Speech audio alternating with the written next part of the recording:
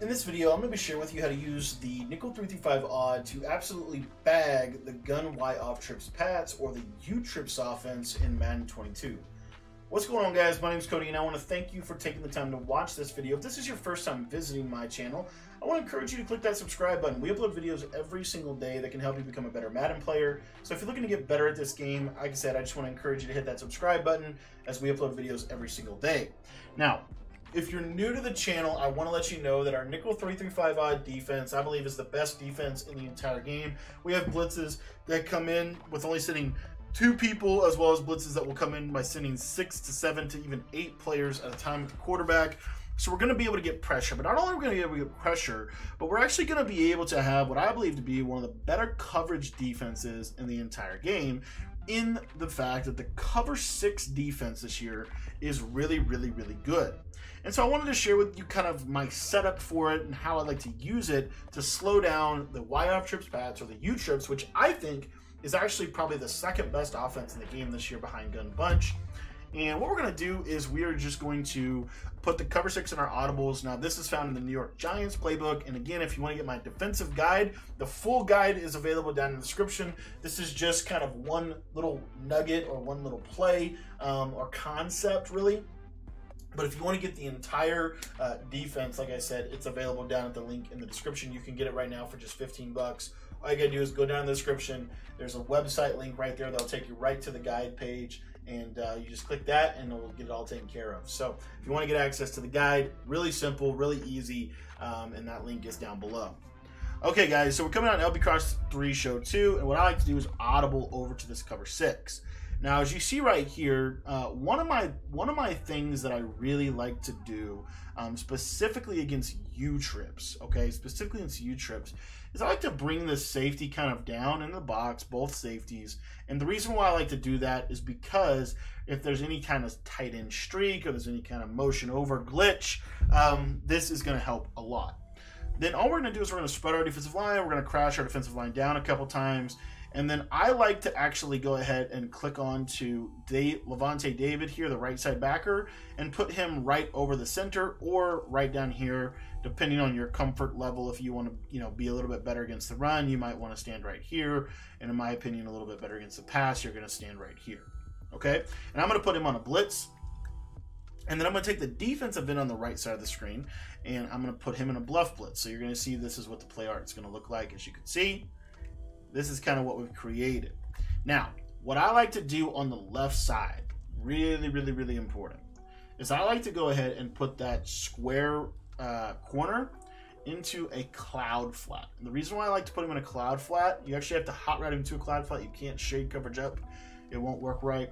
But what I like, the reason I like to do that is because that's going to take away any corner route to the left side. A lot of uh, U trips is to take the solo, basically to take the solo receiver right here get slot apprentice on him, and do something along these lines. So, and then the last kind of step that I'll take is I'll actually man the running back up with that linebacker that's over the center. So you'll see here, this is kind of what the player will look like post pre-snap. And then, you know, they're going to do these corner routes and things. And what you're going to see is this cloud flat's not going to allow them to do that. You're going to get picks every single time.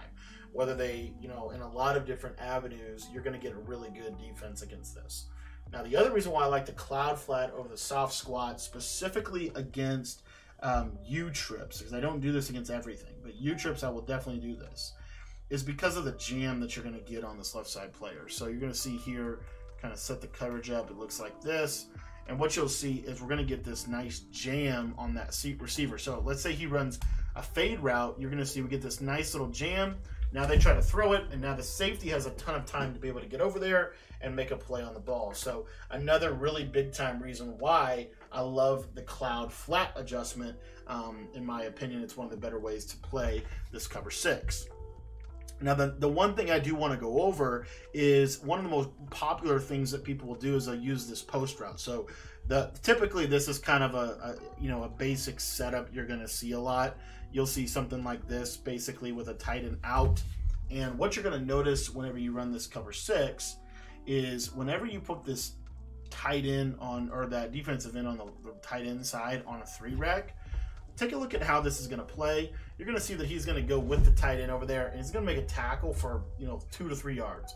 So it's not super, super open. I mean, it is open, but if that's a linebacker there, you know, you, you're going to have some success uh, defensively. The other thing is because we have so much, um, we have such good coverage to the to the uh, two receiver side here. What we can do is at the snap of the ball, we can actually feel free to essentially come back into coverage right in this middle of the field. And we're just looking for any post route. If we see a post route, that's what we're covering. Um, that's pretty much what this defense is going to be vulnerable to. So we're going to take that away. The other reason why I love this defense so much is because, again, and again, this is why I really recommend bringing these guys down against these spread spread out type of formations. It really does help them play better coverage, in my opinion. But what you're going to see is if they run some kind of corner route or something to the right side, you're going to have that match coverage going over there, and you're going to be able to take away a corner route with probably pretty simple. I mean, pretty simple uh, way to stop a corner route, in my opinion. But as you can see, you're you're able to take away the corner. Okay, so really the number one route that you have to worry about is indeed the tight end. A couple things you can do out of this if you want to is you could go ahead and you could actually just decide that you're going to use this guy if you wanted to and kind of basically take the running back routes away yourself. So whatever route the running back goes on, if he goes on like a wheel route or something, your job is to take that away. So what you can now this frees you up to drop a hard flat over there on that side of the field, and now what you can do is really kind of take away this this tight end out route. Um, as you can see right there, we're able to kind of really take that away. One of the other things I want to go over just real quick with you um, is this like something like this setup right here, kind of a flood, you know, pretty heavy flood to that side. So I just want to kind of go over that real quick.